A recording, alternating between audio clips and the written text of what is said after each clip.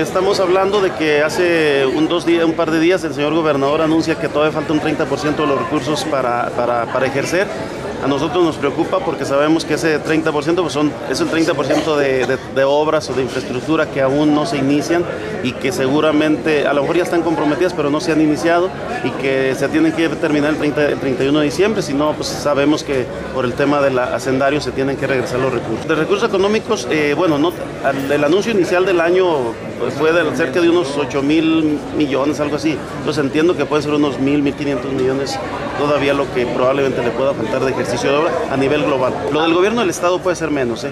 eso no tengo las cifras exactas. No, le estoy, eh, estoy comentando que efectivamente el, ya el acumulado incremento de los insumos, van, llevamos 8 o 9 en el año y que efectivamente a nosotros nos repercute finalmente en el costo de las obras. Eh, los materiales se sucede la misma cosa, los incrementos son, son pequeños, pero son acumulativos en todo el año del 2, del 3%.